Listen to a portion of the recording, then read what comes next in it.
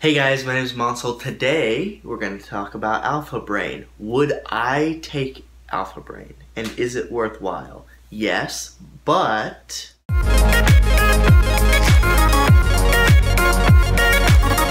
Okay, so Alpha Brain is probably one of the most famous nootropics that you can find.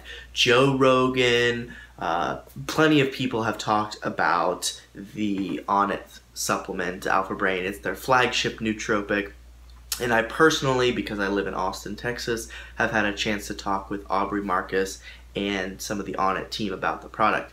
Now, typically, I'm not a huge fan of formulations. I think that a lot of times because I know marketing, these companies put a bunch of stuff together and it doesn't really have that much uh, value for you if you're trying to improve your brain health. Now, Alpha Brain's a little bit different than most, and the reason I say that is because, for one thing, they actually did a full uh, comprehensive study in 2015 at Boston University Uh, in the, the Journal of Human Psychopharmacology, the, the, the evidence showed that there was a 12% increase in verbal memory and about 21% faster completion time for those tests. Now, having statistics like that about the blends of alpha for alpha brain is it's pretty new and it's pretty unique in the in the supplement space. So I have to give credit to Alpha Brain for that. Now moving on to whether Alpha Brain's safe, what about the ingredients?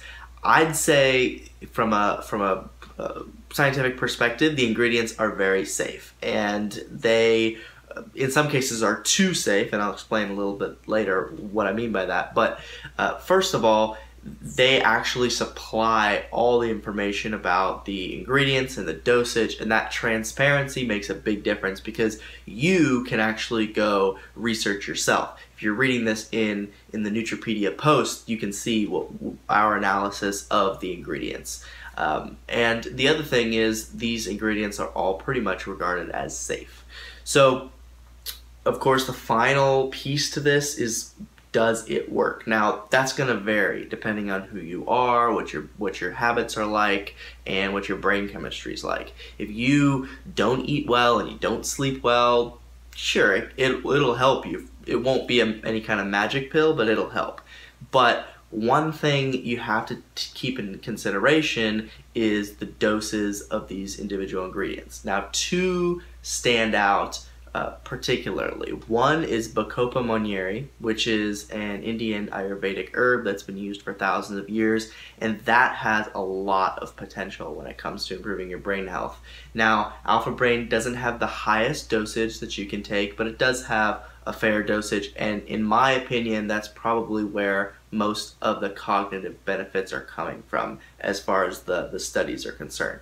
So, like I said, if you want to try it, I would suggest you do so. Uh, just keep in mind the cost of the product and the fact that you get a money back guarantee because that makes a really big difference the fact that you can try it see if it works and then send it back. So take advantage of that if you are interested in alpha brain. Thanks guys. I'll see you next time